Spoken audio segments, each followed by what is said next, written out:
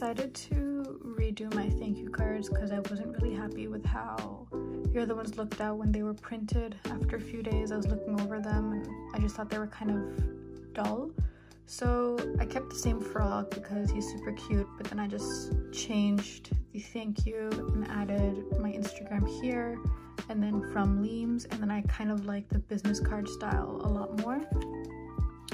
And then I just made these like four cards so that when I'm packing orders, it's easier for me to remember whose is whose and then I don't get like envelopes mixed up and everything like that.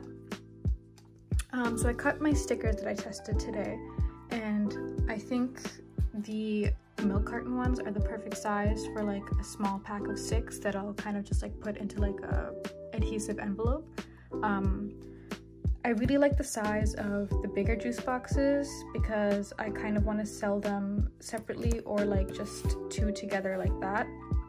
I think these get a bit small and they're also like kind of harder to cut around the straw.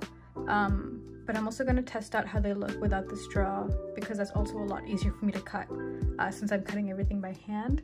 And then with the froggy stickers, um, these are too small and these are just a little bit too big. I'm thinking of making them just about the same size as the juice box stickers uh, because uh, yeah, I just think these are like ever so slightly too big because I throw I don't think they would fit on like the um like this area next to the trackpad on a computer and that's kind of like my size idea for just like what's a little bit too big.